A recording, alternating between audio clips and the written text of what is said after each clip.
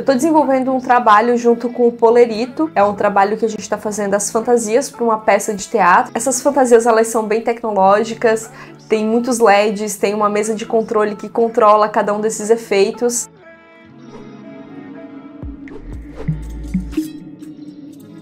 Olá, sejam todos muito bem-vindos ao meu laboratório. No vídeo de hoje a gente vai para a bancada porque tem muita mão na massa. Hoje a gente vai trabalhar juntos. Eu tenho bastante coisa para fazer na bancada, bastante solda para fazer e identificar também alguns erros. Vamos para a bancada, vamos botar a mão na massa. O nosso vídeo de hoje ele é patrocinado pela PCBWay. A PCBWay é uma fábrica que produz placas de circuito impresso com ótimo custo-benefício.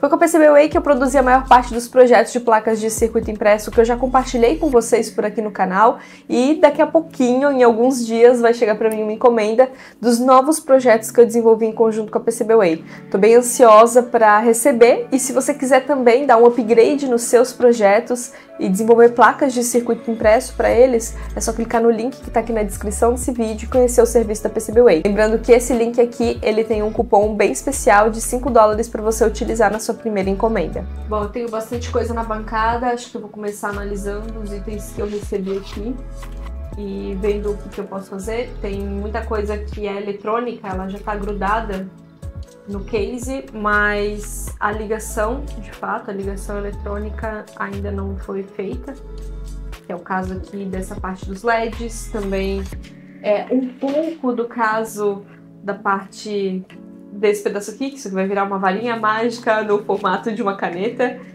e nesse caso aqui a eletrônica ela tá conectada, ó, dá pra ver, mas não tá funcionando. Então tem alguma coisa, algum fiozinho que já soltou, alguma coisa que não tá tão robusta aqui que a gente vai precisar refazer uma solda.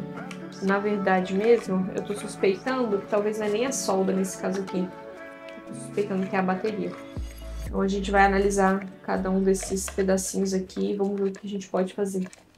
Vou preparar minha bancada e vamos aos trabalhos.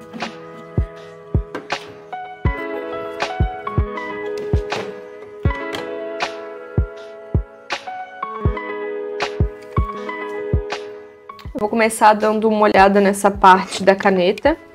É, eu acho que ela vai ser a parte mais fácil de, de se resolver, porque muita coisa já está montada, mas é, ela não está funcionando. E eu estou vendo aqui que tem vários pads da fita de LED também que já estão um pouco rompidos, então isso acaba acontecendo no desenvolvimento, é inevitável. Isso é uma característica de um projeto personalizado que a gente não vai produzir em grande escala, então, é, o que eu posso fazer aqui agora é logo depois dessa construção final, que a gente já validou como a eletrônica tem que ficar, é de fato ir ressoldando as coisas, testando e agora fazendo ligações mais fixas, né? Construindo a solda e construindo algumas proteções em volta para que não fique soltando.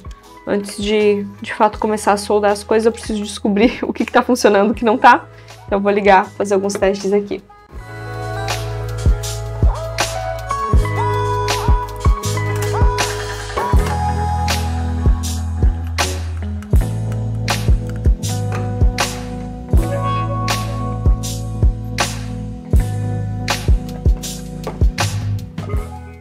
É, eu notei que o sistema ele não liga. Eu acho que é o problema na bateria mesmo. Pode ser um dos primeiros problemas. Os LEDs também vão precisar de uma solda, porque eles estão desconectados aqui. Já dá para ver também que falhou a conexão. Mas o fato do microcontrolador não dar sinal de vida é, me dá a entender que a bateria não está funcionando bem. Até porque eu tenho já algumas histórias contadas sobre essa bateria. Eu sei que ela foi manipulada aí de maneiras um pouco, um pouco bruscas demais.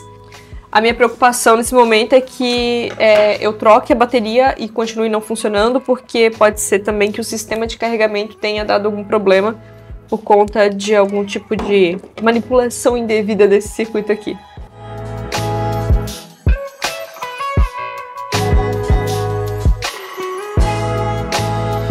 Bom, eu fiz a troca de bateria, mesmo assim o circuito não funcionou. Pode ser que a bateria esteja descarregada, mas vou medir com o multímetro aqui pra gente ter certeza, né? É, temos alguma coisa aqui acontecendo, porque a saída do circuito está em 2 volts, mas a bateria demonstra aqui que ela está certinha. Acabei de notar aqui que os fios começaram a esquentar. É, isso não é um bom sinal. Eu acredito que o circuito de carregamento ele tenha sim dado algum problema, porque a bateria é antiga, é, ela acabou entrando em curto-circuito aqui em um determinado momento da manipulação, da construção do case, e eu acho que isso acabou danificando esse circuito. Então eu vou pegar uma outra placa dessa daqui e vou fazer um teste separado. Aqui acho que eu tive um avanço aqui, eu fiz a troca da placa, mas não só isso, eu notei também que nos LEDs os fios estavam conectados de maneira invertida. E olha só, a gente já consegue ver o microcontrolador respondendo aqui, ó, quando a gente liga e desliga.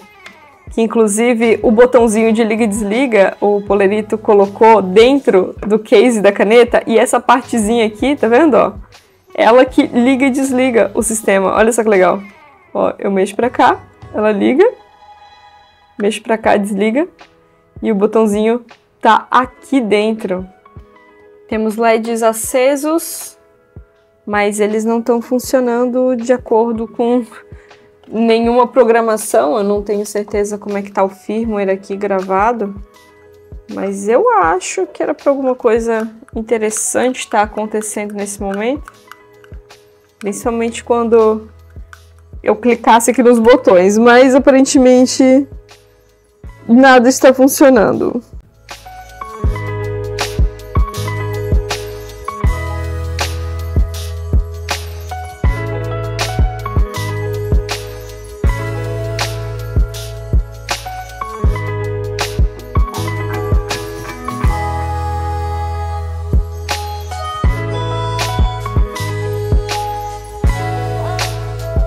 Finalizei a primeira parte, mas assim, eu fiz uma bagunça meio demais aqui na minha bancada, então eu vou organizar as coisas para começar a segunda parte, que vai ser fazer esses LEDs aqui funcionarem com essa mesa de comando aqui, ó. Então eu vou dar uma organizada e, na verdade, eu acho que ela merecia até um casezinho em 3D, igual eu fiz esse aqui. Esse aqui é a caixinha do controle da parte da caneta.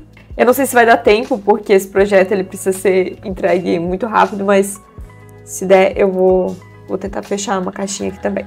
A gente começar a solda da segunda parte.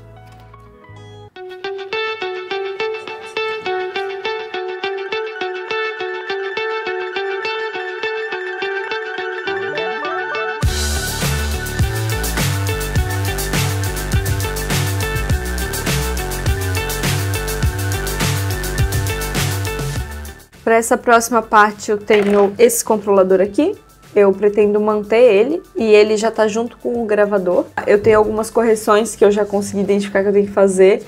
Tem a parte de conexão do microcontrolador com essa parte aqui do painel de LEDs e tem a parte de comunicação da placa que eu tenho que testar para ver se todos os botões realmente estão funcionando. É, eu vou começar fazendo a parte de conexão com os LEDs, porque eu acho que é a parte que mais vai tomar tempo, e vou fazer a conexão com o microcontrolador e depois eu vou ver o que está acontecendo na parte do painel de controle. Finalizei a solda, ficou desse jeitinho aqui. Bastante fios, né? Eu não sei nem como é que isso aqui vai ficar depois na parte final, no case mais artístico mesmo, porque muitos fios estão acontecendo por aqui, mas eu acho que o Polerito vai conseguir se encontrar e dar um jeito. Vou ligar aqui para mostrar como ficou. Olha só. Então, temos aqui os LEDs. Quando a gente liga, ele já faz um dos efeitos. E agora os detalhes finais vão ser organizar aqui na parte controladora para ver se está tudo funcionando. Eu vou ligar ela aqui para a gente fazer alguns testes. Eu ainda não testei ela, não sei se os botões estão funcionando, se precisa de algum ajuste ainda. Mas vamos lá. Uau!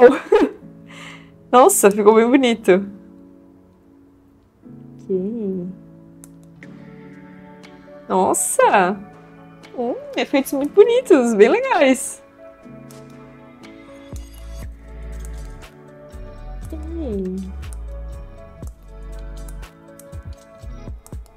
Acho que eu posso considerar que deu certo, nossa.